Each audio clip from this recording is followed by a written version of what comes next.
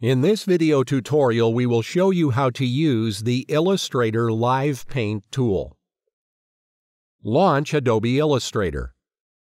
Go to the File menu and choose New to create a new document.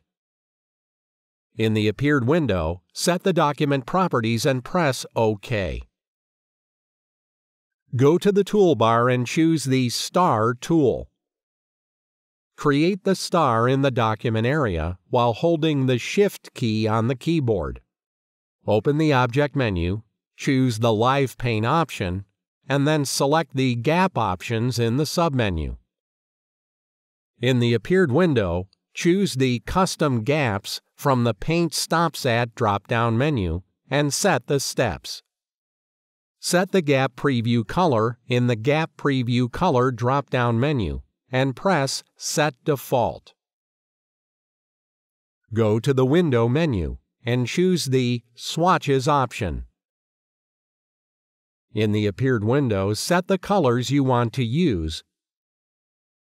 Then choose the Live Paint bucket in the toolbar. Choose the color that you need with the arrow keys on the keyboard in the appeared pictogram of colors. Then set the cursor on the object stroke and click on it to change the color. Then double-click on the Live Paint bucket icon. In the appeared window, check the Paint Fills box in the Options section, then press OK.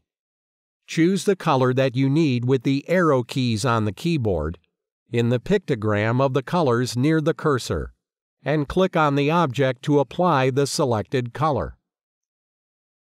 Go to the Object menu. Choose the Live Paint option from the drop-down menu, then select Expand in the submenu to make the object editable as regular vector-based artwork. Now, the Live Paint tool has been successfully applied to the object in Adobe Illustrator.